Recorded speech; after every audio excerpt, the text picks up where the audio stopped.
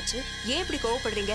எனக்கு தெரிஞ்ச government officer நம்ம பிளாட்ல பத்து கிரவுண்ட் பினாமி பேர்ல வாங்கிக்கிறேன்னு சொல்லியிருந்தாரு. இப்போ போனை போட்டு வேண்டான்னு சொல்றாரு. பத்து கிரவுண்ட் வியாபாரம் போச்சா? அது மட்டுமா?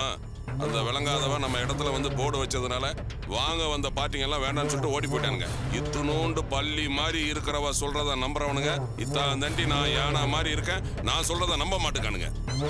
அந்த தாசில்தார் சத்யாவை நாம சும்மா விடக்கூடாதியா? கொஞ்சம் டைம் கொடுத்து நம்ம டார்ச்சர் ஆரம்பிக்கலாம்னு நினைச்சேன். ஆனா இப்பவே ஆரம்பிச்சிட வேண்டியதுதான்.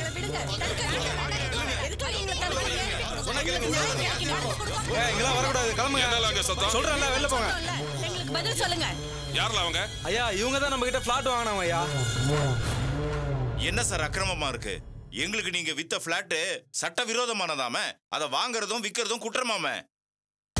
சார் இடம் நல்லா இருக்கு. நல்ல தண்ணி வசதி இருக்குன்றனால தான் ரெண்டு கிரவுண்டு வாங்கினேன். இப்போ என்னடானா? வில்லங்கத்தை தலையில கட்டி விடுறீங்க? இது உங்களுக்கே நல்லா இருக்கா சார்? அரசு அதிகாரிங்க அவங்க கடமையை செஞ்சுட்டு இருக்காங்க அம்பிட்டு தான் அதுக்காக நீங்க கவலைப்பட வேண்டாம். இந்த லிங்கம் கை வச்ச காரியத்தை முடிக்காம விட்டதில்ல. உங்களுக்கு கூடிய சீக்கிரமா அப்ரூவல் வாங்கி தரேன். நீங்க கவலைப்படாம போங்க. அது எப்படிங்க? உங்க பேச்ச நம்புறது? அது பஞ்சமி நிலம்னு சொல்றாங்க. பஞ்சமி நிலத்துக்கு எப்படி சார் அப்ரூவல் கிடைக்கும்? அதெல்லாம் வேலைக்கு ஆகாது. எங்களுக்கு உங்க பிளாட் வேண்டாம். தயவு செஞ்சு எங்க பணத்தை திருப்பி கொடுங்க. ஆமா எப்போ அந்த நிலம் பஞ்சமி நிலம் தெரிய வந்துச்சோ அதை நாங்க வச்சிருக்கிறதே குற்றம். மறுபடியும் அதை திருப்பி வாங்கிக்கங்க. ரிஜிஸ்ட்ரேஷன் கூட நாங்க பண்ணி கொடுத்துடுறோம். அந்த செலவையும் நாங்க ஏத்துக்கிறோம். எங்க பணத்தை நீங்க திருப்பி கொடுத்தா சரி. ஆமா எங்க பணம் கொஞ்சம் போனாலும் பரவாயில்ல. நாங்க கொடுத்த பணத்தை நீங்க திருப்பி கொடுத்தா போதும். நீங்க தேவையில்லாம பயப்படுறீங்க. போய் சொல்லி பிளாட்டை வித்துட்டு இப்ப கண்டதையும் சொல்லி சமாளிக்காதீங்க. எங்களுக்கு உங்க பிளாட் வேண்டாங்க. நாங்க உங்களுக்கு கொடுத்தது ராவும் பவுலும் கஷ்டப்பட்டு சம்பாதிச்ச காசு. நானு என் புருஷன் என் பிள்ளைங்க எல்லாம் சேர்ந்து கஷ்டப்பட்டு சம்பாதிச்சது. அதுல வேர்வையை விட ரத்தம் தான் அதிகமா இருக்கும். அவ்வளோ கஷ்டப்பட்டிருக்கோம். எங்க பணத்தை திருப்பி கொடுத்துருங்க சொல்லிட்டேன். இங்க பாருங்க நாங்க வித்தது வித்தது தான். பணத்தை எல்லாம் திருப்பி கொடுக்க முடியாது. அது எப்படிங்க? ஃப்ராடு தனம் பண்ணி வித்துட்டு இப்ப முடியாதுன்னா என்னங்க அர்த்தம்? அவ்வளவு சீக்கிரம் எங்க பணத்தை நாங்க விட்டுற மாட்டோம். கோர்ட்ல கேஸ் போடுவோம். கடைசி வரைக்கும் போராடுவோம். இவங்ககிட்ட பேசினா வேலைக்கு ஆகாதுங்க. இவங்க மேல போலீஸ்ல புகார் கொடுக்கறதா? இல்ல நேரடியா கோர்ட்ல கேஸ் போடுறதான்னு நாம டிஸ்கஸ் பண்ணி முடிவு எடுப்போம். வாங்க போலாம். சரி சரி. போங்க போங்க. ஆ கிளம்புங்க கிளம்புங்க. நீங்க எங்க போய் பாத்துக்கமா பாத்துங்க கிளம்புங்க. இடத்த காலி பண்ணு. போங்க போங்க. மானம் மரியாதை கௌரவம் அம்புட்டு போகுது. கண்டவன்லாம் வீடு தேடி வந்து கேள்வி கேட்கிற நிலைமை ஆயிப்போச்சு அவங்கள உள்ள விட்டுருக்க கூடாதியா? அவங்க மேல என்ன தப்பு? அவங்க சம்பாரிச்ச காசை அவங்க கேக்குறாங்க. நம்மளை இப்படி மாட்டி விட்டது யாரு? அந்த சத்யா. அவளை பழி வாங்கணும். உடனடியா பழி வாங்கணும். அதுக்கு என்ன வழியோ யோசி. இப்படி பண்ணிட்டால அவளை ஏதாவது பண்ணணும். ஐயா இப்ப அவளை பழி வாங்குறது முக்கியமா? இல்ல நம்ம லேண்டுக்கு அப்ரூவல் வாங்குறது முக்கியமா? என்னல சொல்ற? அவளை பழி வாங்குறதெல்லாம் அப்புறமா வச்சு போயா? முதல்ல நம்ம லேண்டுக்கு அப்ரூவல் வாங்குற வேலையை பார்ப்போம். அது எப்படி இல்ல? அவ தான் கையெழுத்து போட மாட்டேன்னு புடிச்ச புடியா நிக்கிறாள. அவன் என்ன? நம்ம விட்டுறதா? அவகிட்ட நேர்மை முக்கியமா காசு முக்கியமான்னு கேட்டா அவன் நேர்மை தான் முக்கியம்னு சொல்லுவா. ஆனா உன் புருஷன் முக்கியமா நேர்மை முக்கியமான்னு அவகிட்ட கேட்டா? என்னல சொல்ற? கொஞ்சம் புரியும் புடி சொல்லல.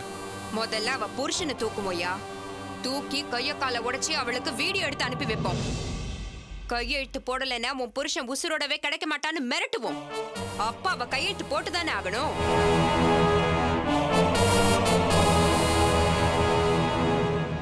ஆமால. இங்க வந்து நம்ம வேலையை பெருசா காட்ட வேண்டாம்னு இருந்தேன். ஆனா வேற வழியே இல்ல. எலே ஐயா ஐயா. அந்த தாசில்தார் வீட்டுக்காரன் எங்க போறான் எந்த வழியா வரான்னு பார்த்து சொல்லுங்க. மத்தத நான் பாத்துக்கிறேன்ல சரிங்க,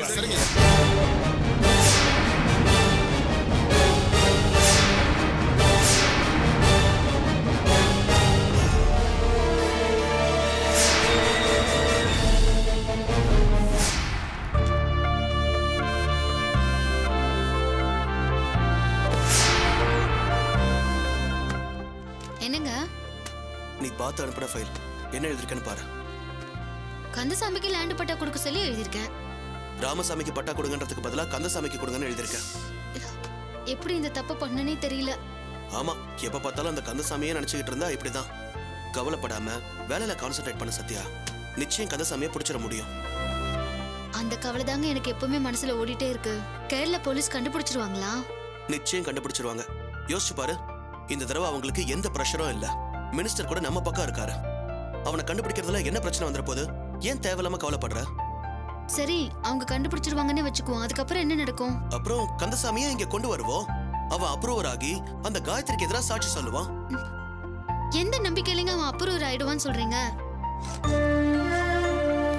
அவன் அப்ரூவர் ஆகிதானே ஆகணும். அப்பதானே அவனுக்கு தண்டனை குறையும். அவளை ஈஸியா அந்த காயத்ரி விட்டுருவாளா? அவனை அப்ரூவர் ஆகாம தடுக்க மாட்டா? வாயை திறக்க விடாம பண்ண மாட்டாளா? எப்படி பண்ணுவா? அத சொல்லு. ஒண்ணு அவகிட்ட பவர் இருக்கணும். அது இப்ப அவகிட்ட இல்ல. கம்ப்ளீட்டா நம்ம புடுங்கியாச்சு இல்லையா?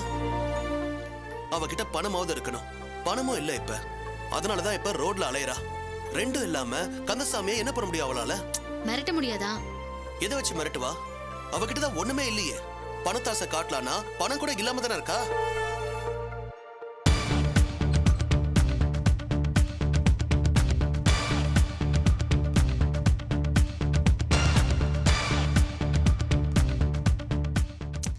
எனக்கு இன்னும் யோசனையாவே இருக்குங்க. சந்தேகங்களும் ஜாஸ்தி இருக்கு. உனக்கு இன்னும் என்ன சந்தேகம்? இல்லங்க. அந்த கந்தசாமி எதுக்கு தமிழ்நாட்டுக்கு வராம இன்னும் கேரளாலயே சுத்திட்டு இருக்கான்? காயத்ரி மேல பயமா இருக்கும்? அதுக்காக பொண்டாட்டிய கூடவா காண்டாக்ட் பண்ணாம இருப்பான்? பொண்டாட்டியும் காண்டாக்ட் பண்ணாம சொந்த ஊருக்கும் வராம இருக்க பயம் மட்டுமா காரணமா இருக்கும்? அப்படியே கேரளாலயே சுத்துறதுக்கும் அவனுக்கு எங்க இருந்து பணம் வரும்? எதை வச்சுக்கிட்டு இப்ப வரைக்கும் அவன் காலத்தை தள்ளிக்கிட்டு இருக்கான்? இதெல்லாம் நினைச்சு எனக்கு ஒரே குழப்பமா இருக்கு. இந்த குழப்பத்துக்கெல்லாம் ஒரே ஒரு ஆள் தான் விட சொல்ல முடியும். யாருங்க? அந்த கந்தசாமி தான் அவனால தான் இதுக்கு பதில் சொல்ல முடியும். கவலையே படாத கேரளா போலீஸ் அவனை கண்டுபிடிச்சதும் நமக்கு தகவல் சொல்லிடுவாங்க. அவன்கிட்டயே எல்லா விஷயத்தையும் கேட்டுருவோம். நீ தயவு செஞ்சு மனசை குழப்பிக்காம வேலையில கான்சென்ட்ரேட் பண்ணு.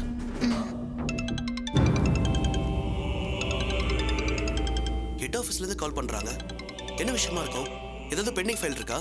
பெண்டிங் ஃபைல் இருந்தா எனக்கு தானே ஃபோன் பண்ணுவாங்க. உங்களுக்கு ஏன் பண்றாங்க? எடுத்து பேசுங்க. ஹலோ பிரகாஷ். நம்ம தாலுகால இருக்கிற பி மெமோலாண்ட் எல்லாத்த பத்தியும் ஒரு ஃபைல் இருக்குல்ல? அதை உடனே எடுத்துக்கிட்டு ஹெட் ஆபீஸ் வாப்பா. என்ன? பி மெமோ ஃபைலா மெயின் காப்பி உங்ககிட்ட தான் இருக்கணுமே சார் அது இல்லப்பா. எங்க வச்சாங்கன்னு தெரியல. நீ உடனே எடுத்துக்கிட்டு ஹெட் ஆபீஸ் வா. சரி சார் நான் ஆஃபீஸ் அசிஸ்டன்ட் கிட்ட கொடுத்து விடவா? இல்ல இல்ல இல்ல இல்ல. நீ தான் வரணும். ஓஏ எல்லாம் அனுப்புனா அவங்க பொறுப்பா இருக்க மாட்டாங்க. நீயே சீக்கிரம் எடுத்துட்டு வா. ம் சரி சார் என்ன சொன்னாங்க? சீனியர் ஆஃபீஸர் தான். பி மெமோ ஃபைல் வேணுமா? ஓஏ கிட்ட கொடுத்து அனுப்ப கூடாதா? நானே தான் கொண்டு வரணுன்றாரு இருக்கிற வேலையில இது வேற.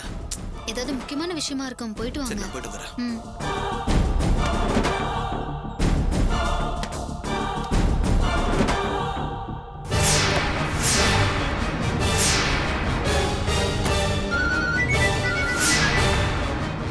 ஆ சொல்லுங்க ஆபீசரே ஐயா பிரகாஷ ஒண்ணுமில்லாத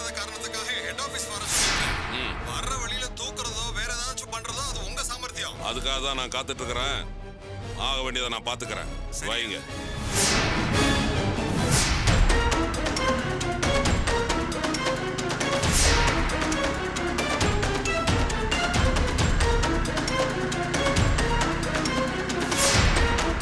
ஐயா இவன் தாயா ஓஹோ இவன் தான் வீட்டுக்காரனா? ஆமாயா. இல்ல வண்டி இல்ல சீக்கிரம் ஏறல. ஏறல ஏறல. ஏறல அவனை ஃபாலோ பண்ணு.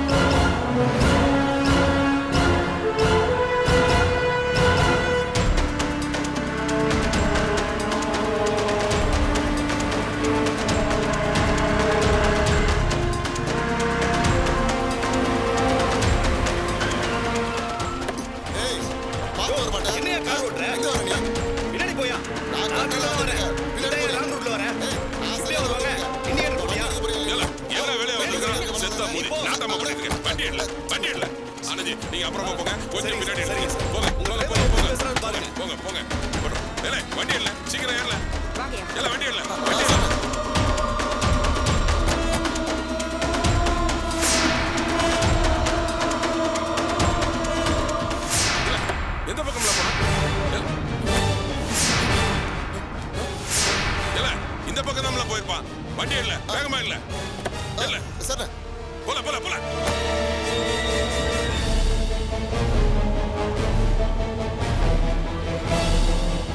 அந்த ஆஃபீஸ்ல நான் ஆஃபீஸ் அசிஸ்டன்ட் தாம்மா ஆனாலும் என்ன கௌரவமா நடத்துறாங்க. ஓவர் டைம் பார்த்தா காசு கொடுப்பாங்க.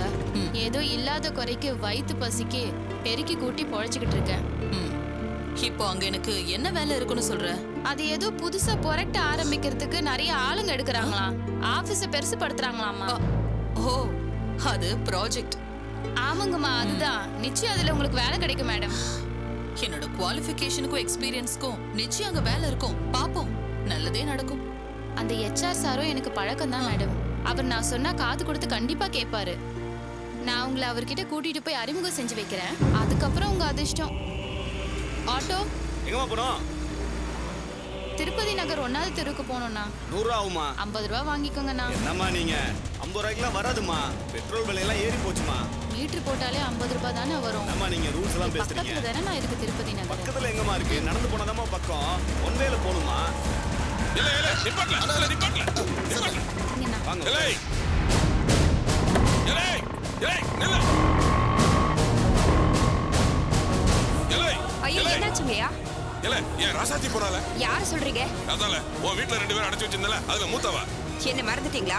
அவ உங்களை கொல்ல பார்த்தவ. என் கைய விட்டு போன சீதேவிலவ என் சம்சாரம் செத்து போனாலே சுடலம்மா மாதிரி இருக்கிறா. திருநெல்வேலியில தெருப்புரிக்கிட்டு இருந்த நாய் நானு. சுடலையம்மா வந்ததுக்கு அப்புறம் தான் என் வாழ்க்கையில எல்லா ஐஸ்வர்யம் வந்ததுல மகராசி விட்டுட்டு செத்து போயிட்டாலேன்னு நினைச்சேன். மறுபுறப்ப எடுத்துட்டு வந்த மாதிரி நிக்கிறா. அவளை தூக்கணும்ல.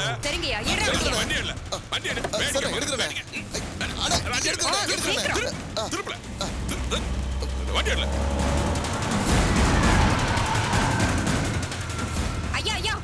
ஐயா கொஞ்சம் ஓரமா திருப்புல, அப்பதான் வண்டியை திருப்ப முடியும். லிங்கம். சார் சார் வணக்கம் சார். சார் வரேன் சார். சார் வணக்கம். லிங்கம்? எங்க இப்படி? இங்க என்ன பண்ணிட்டு இருக்கீங்க? சார் ஒண்ணும் இல்ல சார். வண்டியை திருப்பிட்டு இருக்கோம் அதான். திருநெல்வேலியை விட்டு எப்ப இங்க வந்தீங்க? ரியல் எஸ்டேட் பிசினஸ விரிவுபடுத்தலான்னு சென்னைக்கு வந்திருக்கேன் சார். சரி. ஒரு லேண்டை பிடிச்சி ஃபிளாட் போட்டுட்டு இருக்கிறேன் உங்களை பார்த்ததுல ரொம்ப சந்தோஷம். ரோட்ல நின்னு பேச வேண்டாம். வாங்க என் ஆபீஸ் பக்கத்துல தான் இருக்கு. அங்க போய் பேசலாம். இல்ல வரல, சார், அது. வந்து, சார். அட வாங்க. பேசிக்கிட்டே போவோம். உட்காருங்க. சரி, சார். இருங்க. வண்டி எடுப்பா.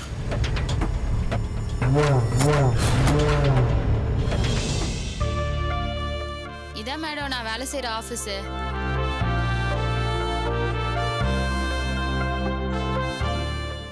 மேடம் அப்படி பாக்குறீங்க? இந்த ஆபீஸ்க்கு ஏற்கனவே வந்திருக்கீங்களா? விதியோட விளையாட்டை பார்க்க ஆச்சரியமா இருக்கு. அங்க சுத்தி இங்க சுத்தி என்னை இங்க கொண்டு வந்திருக்கு. என்ன மேடம் சொல்றீங்க? ஒண்ணும் இல்ல.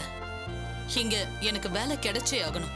எப்படியும் இந்த வேலையை நான் வாங்கிடுவேன். ரொம்ப தேங்க்ஸ் இன்னும் வேலையே கிடைக்கல அதுக்குள்ள தேங்க்ஸ் சொல்றீங்களே. எல்லாம் காரணமா தான் அது சரி. இங்க மிஸ்டர் மதியழகன் தானே ஹெச்ஆர் இல்ல மேடம் தனசேகர்னு சொல்லிட்டு புதுசா ஒரு சார் வந்திருக்காரு. ஓ. நான் உள்ள போய் சார்கிட்ட பேசிட்டு வந்துடுறேன். நீங்க எப்படி உட்காருங்க. சரி.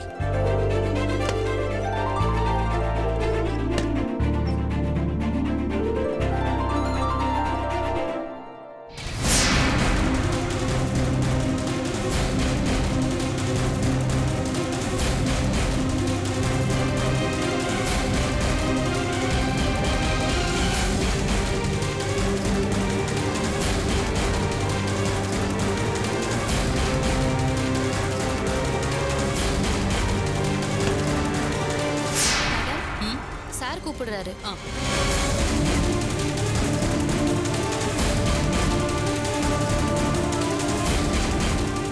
வாங்க லிங்கம். இதான் நம்ம ஆபீஸ். உட்காருங்க.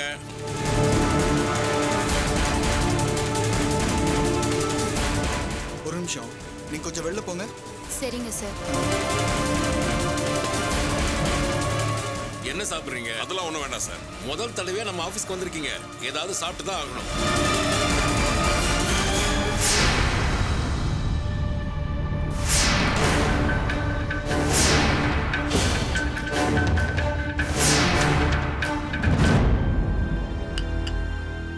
என்னத்த சொல்றது? இந்த கவர்மெண்ட் கிட்ட எதுக்கெடுத்தாலும் அப்ரூவல் வாங்கணும்னு கண்டுபிடிச்சவன் எவன்னு தெரியல சார் அவன் மட்டும் என் கையில சிக்குனான்னு வைங்க கொன்னுருவேன் சார் இப்ப கூட பாருங்க ஒரு சாதாரண தாசில்தார் பிளாட்டுக்கு அப்ரூவல் கொடுப்பனான்னு போராட வைக்கிறா சார் அவளோட பெரிய தலைவலியா இருக்கு. அதனால எனக்கு நெஞ்சு இழப்பே வந்துச்சு சார் அடடா உடம்ப பாத்துக்க வேண்டாமா? எல்லாத்துக்கும் காரணம் வேற ஒரு பொம்பளை சார் நான் இருக்கிற ரூம்ல ஒரு கட்டு ஊதுவத்திய கொளுத்தி வச்சு என்ன கொல்ல பார்த்தா சார். ஐயோ. அன்னைக்கு வந்த வீசிங்கில இருந்து நான் தப்பிச்சதே மறுபொழப்பு ஆயிப்போச்சு சார். அந்த பொம்பளைய வழியில பார்த்தோம். அவளை பிடிக்க ட்ரை பண்ணோம். அந்த நேரம் பார்த்தா நீங்க இங்க கூப்பிட்டு வந்துட்டீங்க. கவலைப்படாதீங்க லிங்கம். எப்படியும் அந்த பொம்பளையை நீங்க கண்டுபிடிச்சிடுவீங்க? மெட்ராஸ் என்ன அம்புட்டு பெரிய ஊரா? எப்படியும் அந்த பொம்பளை என் கண்ணுல மாட்டத்தான் போறா. நீங்க வேணா பாருங்க பிடிச்சிருவேன்.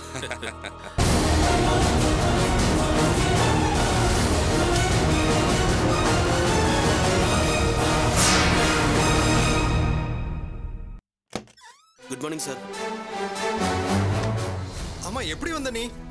என்ன சார்? வண்டியில வந்த நீங்க தானே வர சொன்னீங்க? என்னமோ நானா இங்க வந்த மாதிரி ஆச்சரியப்படுறீங்க? ஆ நான் தான் வர சொன்னேன். இந்தாங்க சார் ஃபைலு என்னது? என்ன சார் இது? நீங்க தானே அவசரம் பிஎம்எம்ஓ ஃபைல் எடுத்துட்டு வான்னு சொன்னீங்க? இப்போ என்னன்னு கேக்குறீங்க? ஆ ஆமா ஆமா நான் தான் எடுத்துட்டு வர சொன்னேன். ஆ. ஆ, நீ கிளம்பு. சார் அவசரம்னு சொன்னீங்க. வாங்கிட்டு ஓரமா வைக்கிறீங்க? ஏப்பா இதை விட வேற அவசரமான வேலை இருக்கு. அதை முடிச்சுட்டு இதை பாத்துக்கிறேன். நீ கொடுத்துட்டல நீ கிளம்பு. சார் ஃபைலை வாங்கிட்டு கையெழுத்து போட கொடுங்க ஆ, நீ கிளம்பு. என்ன சார்? கிளம்ப கிளம்புன்னு அவசரப்படுத்துறீங்க? அவசரம்லாம் இல்லப்பா. உன்னை நிக்க வச்சு உன் வேலையை எது கெடுக்கணும்? நீ கிளம்பு.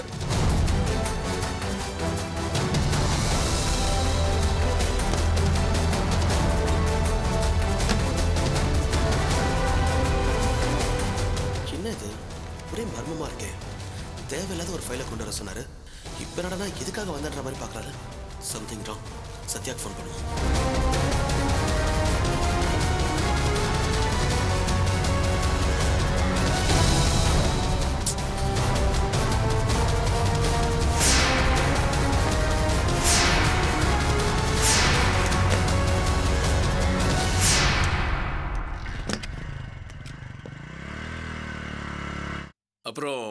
ஊர்ல பிசினஸ்லாம் எப்படி இருக்கு? நல்லா இருக்கு சார் சார் ஒரு ஃபோனு முக்கியமான ஃபோனு பேசிட்டு வந்துடுறேன் சார் ஆ சொல்லுங்க கவர்மெண்ட் ஆபீசரே இந்த நக்கலை எப்பதான் விட போறீங்களோ?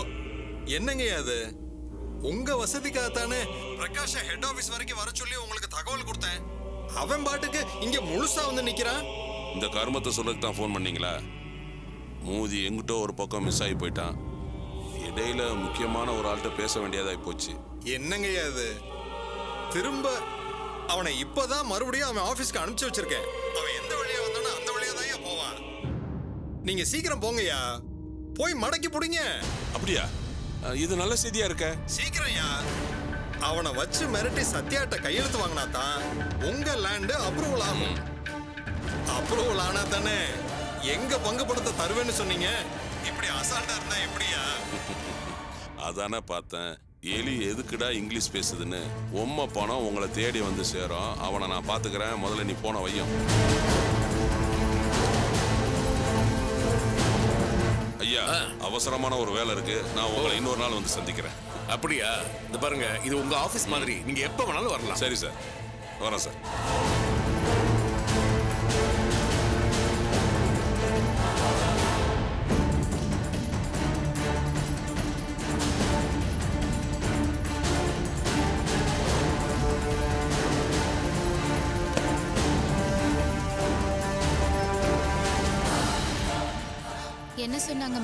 வெயிட் பண்ண சொல்லியிருக்காரு.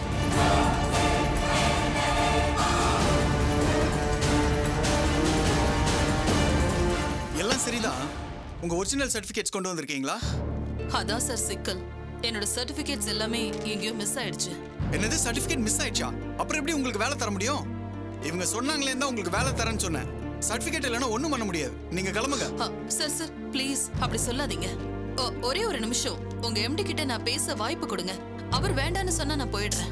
எங்க எம்டி உங்களுக்கு தெரியுமா? நல்லா தெரியும் சார் ப்ளீஸ் சார் சரி ஓகே அவர் தான் ஃபைனலா முடிவு எடுக்கணும்.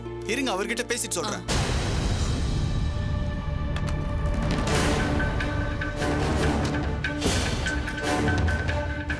ஹலோ சார் காயத்ரின்னு ஒருத்தங்க வேலை கேட்டு இங்க வந்திருக்காங்க. அவங்க உங்களை பார்க்கணுமா சார் சார் அவங்க கிட்ட சர்டிஃபிகேட்ஸ் இல்லையா சார் சரிங்க சார் ஓகே சார் அப்படியே பண்றேன் சார் சார் உங்களை உள்ள வர சொன்னாரு. வாங்க. Thank you excuse me sir sir இதான் இவங்க டீடைல்ஸ் ஹலோ சார் என்ன ஞாபகம் இருக்கா? நீங்க மிஸ்ஸஸ் குமார் தானே? ஸ்டார் ஹோட்டல்ல ஜிஎம் இருந்தீங்களே. ஆமா சார் பரவாயில்ல சார் நல்ல ஞாபகம் வச்சிருக்கீங்க. அது எப்படிங்க மறக்க முடியும்? ப்ளீஸ் சிட் டவுன் உட்காருங்க. தேங்க்யூ சார் இப்ப கூட அந்த நம்பி குரூப் ஆஃப் கம்பெனிஸ் நீங்க தானே ரன் பண்ணிட்டு இருக்கீங்க? இல்ல சார் நான் நம்பி குரூப் ஆஃப் கம்பெனிஸ்ல இருந்து வெளியில வந்துட்டேன். வாழ்க்கையில நிறைய குழப்பங்கள். இப்போ எனக்கு சர்வைவலுக்கு ஒரு வேலை தேவைப்படுது. அதனால தான் உங்களை பார்க்க வந்தேன். எனக்கு செய்யற உதவியா நினைச்சு எனக்கு ஒரு வேலை கொடுக்க முடியுமா சார்